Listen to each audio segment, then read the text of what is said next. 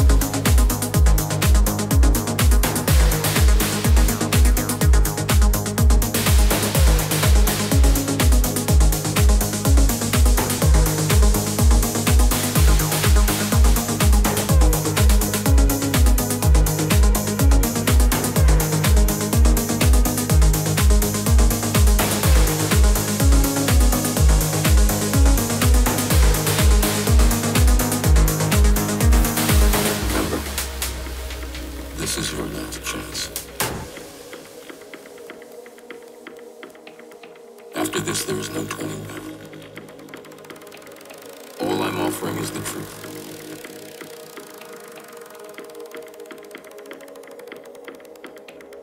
You have to see it for yourself. Remember,